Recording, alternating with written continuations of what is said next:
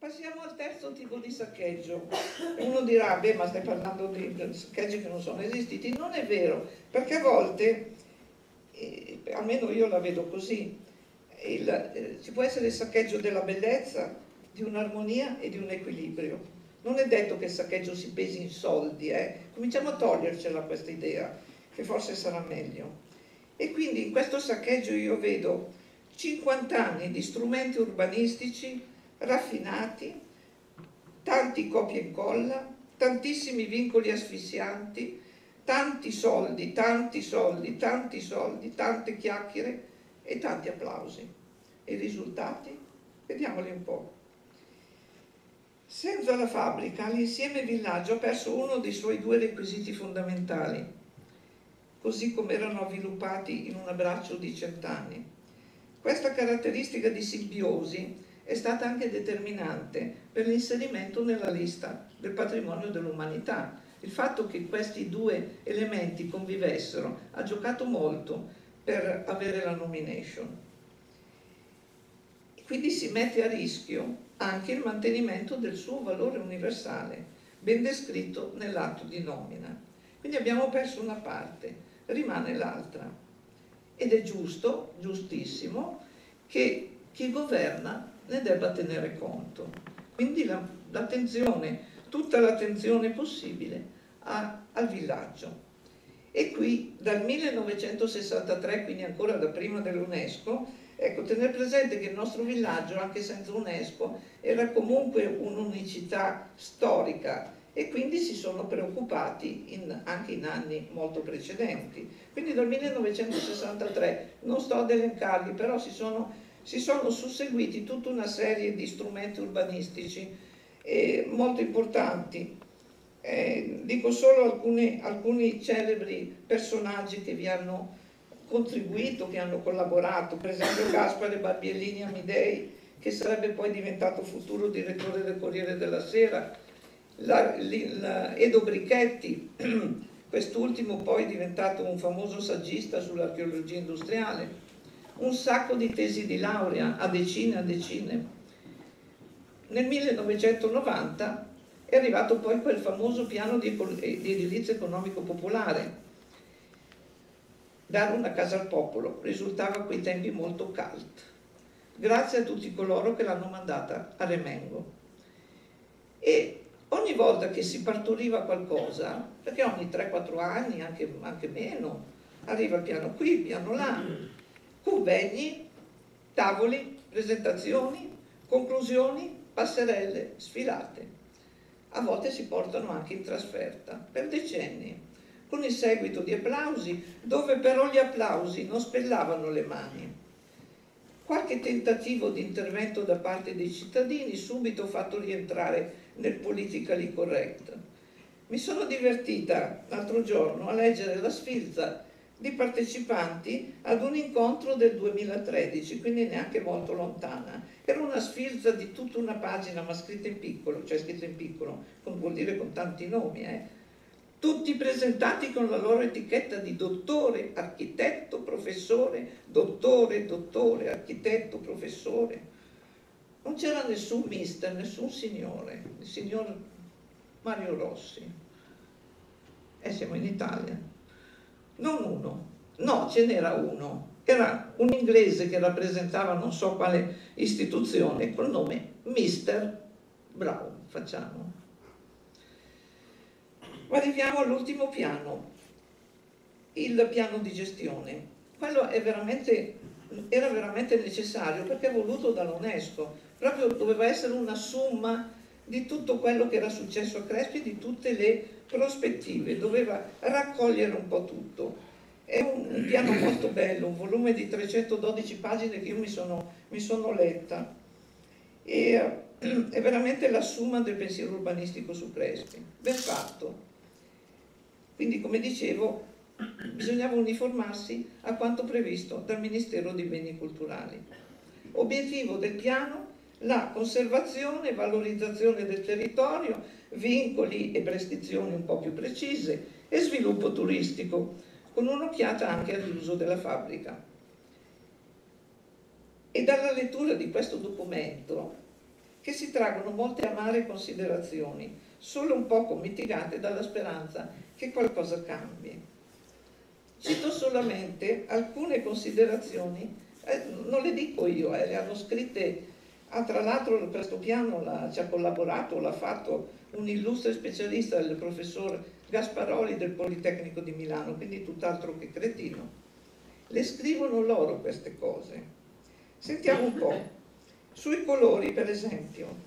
Sui colori non c'è mica tanto da scherzare, perché è uno di quegli aspetti che è stato rilevato come, non, non, dice, non dico come neo, ma insomma è stato scritto che c'è questo problema, è l'unica cosa che si sono permessi di scrivere per non disturbarci troppo. E, e nella, nella, nella, didascalia di che cos'è Crespi eh, c'è scritto comunque eh, tutto è conservato eccetera eccetera, comunque alcuni cambiamenti sono stati apportati quali la modifica dei colori delle residenze, dall'oro originario bianco con greca di mattoni come segna piano. Che, era, che cosa era successo a, questi, a, questa, a questa tinteggiatura? Forse voi vi siete abituati a vedere Crespi, è normale che la casa sia gialla, la casa sia verde, la casa sia scrostata, la casa sia bianca. Il buon Benito aveva cominciato già nel 1941 ad accanirsi contro quel tipo di casetta eh, un po' inglesizzante, un po' anglofona, vabbè, non parla, ma eh, così all'inglese. Non gli piaceva quella, quella, quello stile e non andava in effetti molto d'accordo con, con Churchill. Ma via, via questi inglesismi, ci vogliono i colori della bandiera, la bandiera tricolore, rosso, verde, bianco. Allora, rosso e verde le case, il bianco era rappresentato dalle cornici delle finestre. Ma uno cerca una logica e non la trova, cioè non allora, adesso. Uno si aspetta, cioè individua che ci sono dei colori dominanti. In quale alternanza ci sono questi Non la trova. Poi si sposta e dice ma forse non ho capito, la prospettiva è questa. Allora vede tre rossi e dice, ah questa è la fila dei rossi, no, dopo ce n'è una bianca. Poi li guarda in, in diagonale e dice, ah sì sì, adesso c'è proprio, alla fine arriva quella ocra, vabbè, tutto una cosa così insomma. L'unica logica di questo è, vabbè, sono colorate e basta.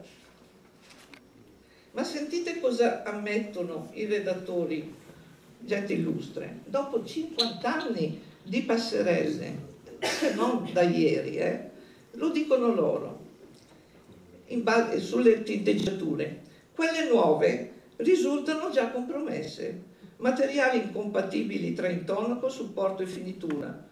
L'impatto che l'intervento di nuova tinteggiatura prodotto sul contesto e sull'insieme urbano nel suo complesso, dal momento che il valore del villaggio si esprime anche e soprattutto a livello di sistema urbano, rischia di essere compromesso nel momento in cui venga alterata la sua percezione d'insieme. Praticamente dice ma che cazzo l'avete fatto? E poi non vi è stato un adeguato controllo delle scelte cromatiche degli interventi più recenti. Lo riscrivono un'altra volta, necessario a garantire la protezione della materia storica che contribuisce all'eccezionale valore del sito, considerando anacronistico il piano del colore precedente e che orienta a valutare il mantenimento dei materiali nella fase originale, piuttosto che quelli che testimoniano le molteplici fasi successive in parole povere, cioè detto da gente che non usa un linguaggio terra-terra, e del resto i professori non se lo potevano permettere di scrivere accuse contro le amministrazioni anche perché avrebbero sputato nel piatto in cui mangiavano. Dicono meglio lasciare il vecchio piuttosto che fare cazzate nuove. E vediamone alcuni di questi colori creativi. La casa rosa confetto semiscolorita, poi ci sono altre con tre tonalità di rosso, poi la casa ha due colori, perché i rossi sono rossi ma sono tutti uno diverso dall'altro. Poi c'è la casa giallo ocra e poi, poi, poi c'è tanta fantasia, insomma. Un inciso, l'architetto di cui parlavo prima, Carlo Curto, fu nella commissione di Capriate per i colori di Crespi ed era un energico sostenitore del tornare allo stile antico, del resto era talmente semplice, 50 anni per sapere che cavolo di colori mettere, erano tutti uguali, sarebbe stato proprio così brutta Crespi, con l'idea che aveva, avevano i Crespi dei colori non è che se l'ha inventato il bambinetto Crespi, quello di mettere quel colore. Erano entrati in gioco fior di architetti, Brunati, Pirovano, tutta sta gente, mica, mica i geometrini dei, del Parco da Nord. E, uh, no, tanto per anticipare il, quello che viene dopo. Quindi l'architetto di cui parlavo, Carlo Culto, fu nella commissione di Capriate per i colori e fu un energico sostenitore del tornare allo stile antico, diavolo, era così semplice. E era per i colori che andavano quindi storicizzati, fatti tornare alla storia, ma fu dimissionato perché troppo esigente. Vabbè. Beh, andiamo ai garage, vabbè, lo sappiamo tutti, ma il fatto è che lo sappiamo tutti, ma non pensiamo che abbiamo un orrore intorno, in, in Crespi, perché ci siamo abituati, lo sappiamo, non troviamo soluzioni anche per colpa nostra, va detto, ma i turisti le vedono queste cose. Una baraccopoli in un paese UNESCO, ma stiamo scherzando? Per fortuna che i turisti li portate nei posti significativi di Crespi e quindi certe zone si evitano. Guardateli, passate per le strade, guardate, è degno di un UNESCO un paese del genere i turisti, quelli, quelli veri, ne sono inorriditi. Allora, noi ci siamo abituati, come ci siamo abituati a tutte le cose mostruose. Una volta una mia allieva eh, pettinatrice avevo fatto io lo shampoo, era venuta una cosa obbrobriosa e mi guarda e mi dice ma che cavolo hai fatto? Io che non me ne ero accorta e dico perché? Cosa c'è? Eh, dice, ci si abitua anche all'orrore, ed è proprio così. E così per le recensioni, no comment come sopra. E bello è che per tutte queste cose ci sono quintali di carte dove c'è il centimetro, il millimetro, il colore, l'asse, il tipo di legno, a che altezza va messo, come del resto per, per, per tutto andate, andate a vedere come sono. 50 anni eh, di soldi, quanto sono costate queste cazzate? Quanto sono costate? Quindi, cambiati cento volte, i tettucci, si vede infatti, si vede come il passare delle amministrazioni hanno agito sulla storia di Crespi, bastava riferirsi alla storia. Comunque si leggono anche alcune cose carine in questo documento, eh, in questo piano di gestione da 312 pagine, anche alcune amenità. Tra queste, le siepi non devono impedire la visuale delle facciate. Ecco qui l'interpretazione immediata. Intervenuto qualcuno? No. Poi, e si richiede che le aree utilizzate ad orto non siano percepibili dagli spazi pubblici. Cioè chi c'è l'orto non lo deve far vedere. Oh, questo è un fantastico problema. Eh? Ah, ho capito cosa deturpa Crespi. È la signora Gina, novantenne, grazie anche alla serenità che le procura, coltivare il suo orto. È tutta colpa sua se Crespi è conciata così. Veniamo al teatro. Questo, questo teatro era uno dei siti più belli del, di Crespi. Il frontespizio del palco affrescato con scene dipinte da pittori Arturo Bonfanti ed Arturo Ferrari, allievo all'Accademia di Brera e Giuseppe Bertini. Alcune scene, alcune eh, scenografie purtroppo sono state eliminate negli anni 40 da canto, come pure le quinte laterali con affreschi che toccarono anche il soffitto in epoca più recente con un intervento pittorico di Monzio Compagnoni. C'erano le gloriose sedie da teatro, popolari di una volta in legno, Ora queste sedie si troveranno sicuramente in lussuosissime case da VIP in mezzo alla, al moderno. C'era addirittura la buca per l'orchestrina qui davanti, il cosiddetto golfo mistico in misura mini, un teatro che sarebbe potuto diventare una delle maggiori attrattive turistiche di Crespi, tanto più se lo si rendeva vivo magari con qualche rappresentazione. Ci ho suonato da ragazza in questo gioiello in occasione di un concorso internazionale. Mi avevano dato una medaglia, ero stata in tv, anche allora quando era in tv, anche se era scemo, diventava famoso. Spero di non esserlo stata io, però più o meno è sempre stato così. E quando ero bambina, ancora più piccola, suonavo nell'orchestrina del piccolo golfo mistico di teatro da paese ad accompagnare insieme ad altri musicisti, il signor Silva per esempio, al violino, le commedie della signora Bonino. Bene, questo teatro è stato acquistato dalla parrocchia, ma poi il comune che non aveva sale da adibire a manifestazioni pubbliche si offrì di ristrutturarlo, mantenendo però il diritto di gestione e di utilizzo per vent'anni. Il teatro non era norma, gli arredi erano vecchi e non era agibile. E che si fa per renderlo agibile?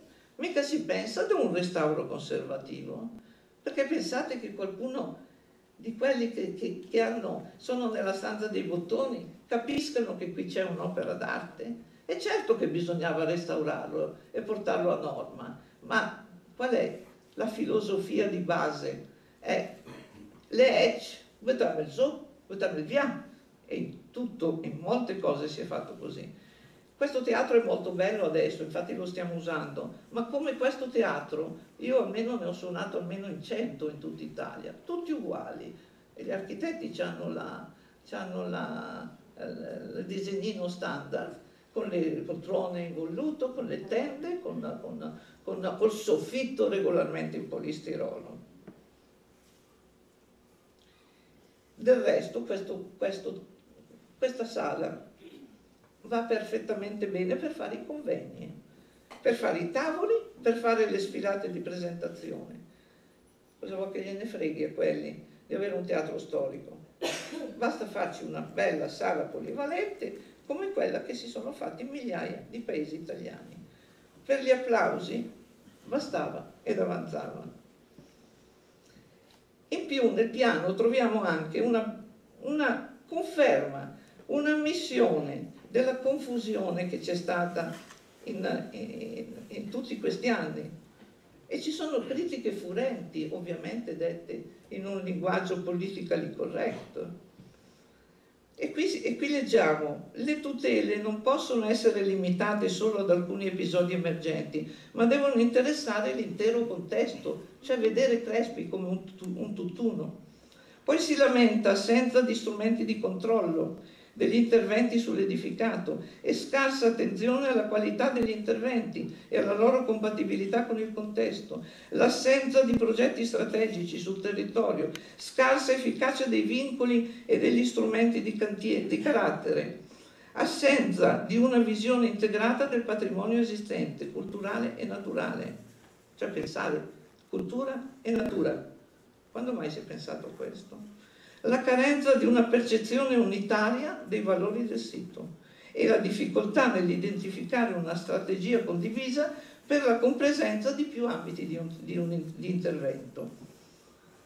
E sì, perché decidono tutti, comune, parco, sovrintendenza, regione, provincia e, e ovviamente uno scarica sempre sull'altro. Beh, insomma, per arrivare a questo non, non è scritto, bastava la casalinga di Voghera. Il concetto di carino, prima ne abbiamo, ne abbiamo parlato del teatro, carino, no? Questo teatro, sì, certo, certo che è carino, ma è un concetto molto pericoloso con cui si possono fare grandi cavolate.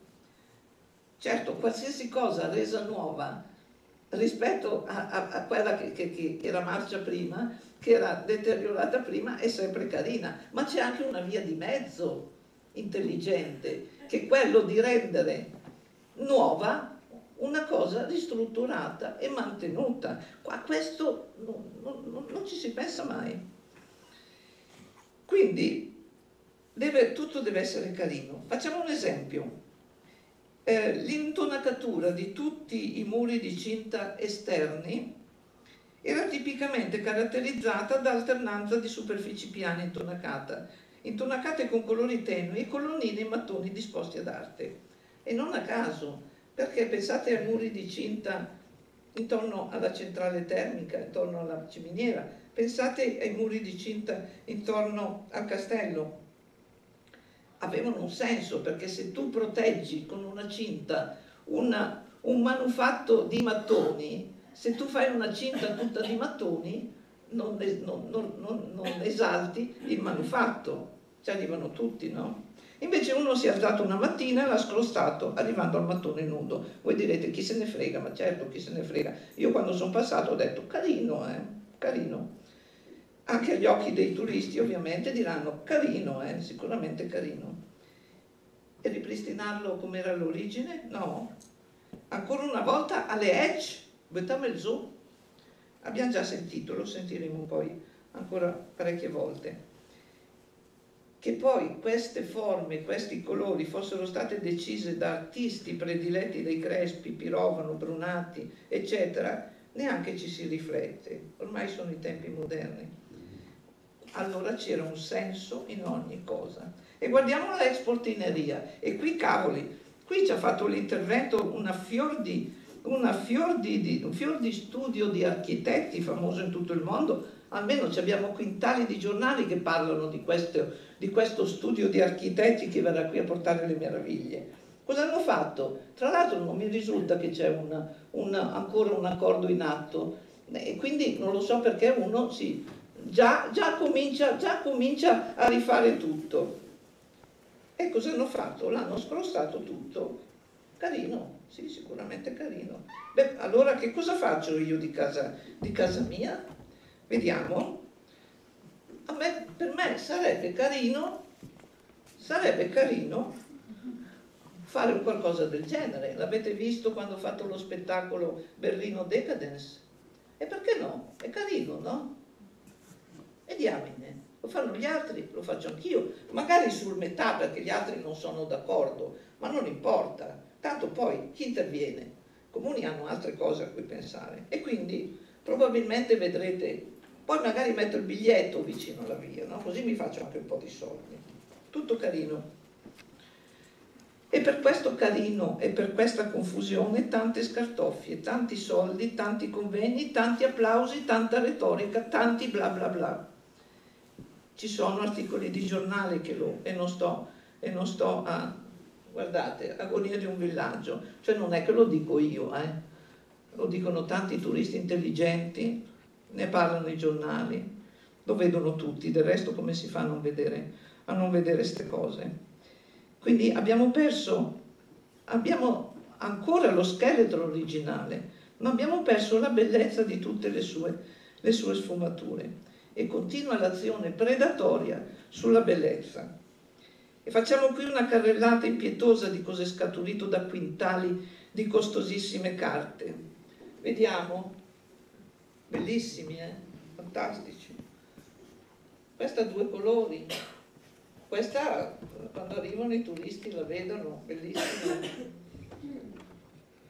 Eh, eh, sembra un paese dove è scoppiata l'atomica e, e, e tutta la vegetazione si rimangia quello, tutto quello che può. Vediamo?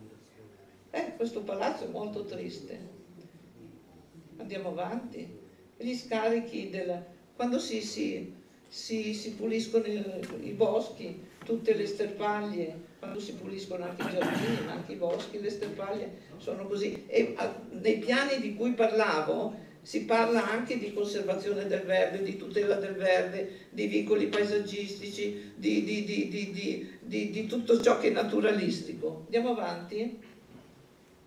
Ecco. Questo vedono i turisti. Questo vedono i turisti. Ah, poi c'è il monumento al palo eh. Eh sì, perché non si sa perché quando si è fatto il palo lì è arrivato il muratore, il muratore creativo e ha detto io faccio il monumento al palo. Perché no?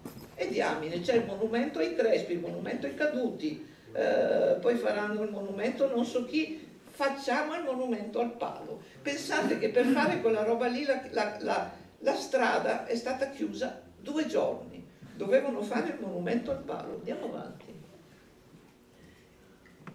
Ecco, questo, beh, l'erba poi non se ne parla, va bene, è normale ormai vederla così. Ah, qui anche qui un po' di fantasia, no? una bella grechina intorno alla... Beh, tanto... Eh beh, ma neanche bella, eh? Non, non dico mica. Eh beh, faccio anch'io domani la mia grechina, magari anche un pochino più bella. E beh, questi sono... Questa sono è ordinaria amministrazione. Vai. E questa è ordinaria amministrazione. Ecco, qui ovviamente nei piani si dice che il parco tutelerà eh, che tutti i vincoli possibili, immaginabili, tutte le tutele, non c'è zona più tutelata di questa. E poi in un attimo le piante sono vecchie, ma ne parleremo dopo.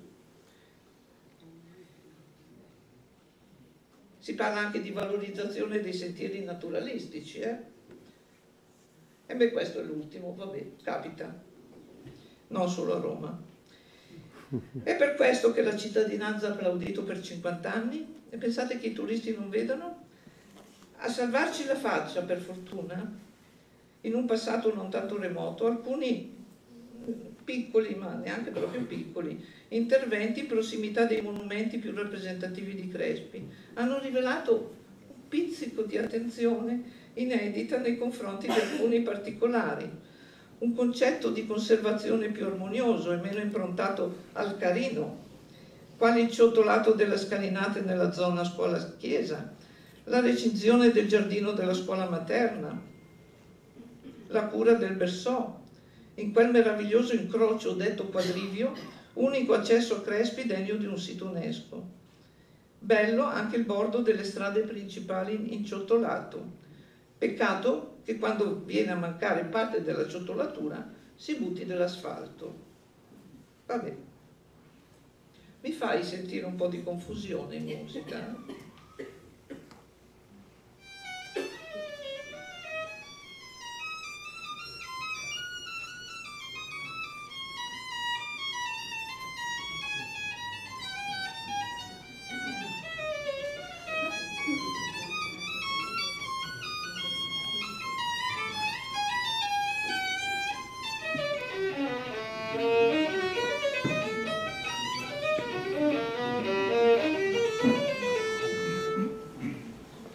Sì, sentite che noia, no? Una confusione. Ma c'è chi si abitua alla confusione, c'è chi la confusione la fa diventare normalità.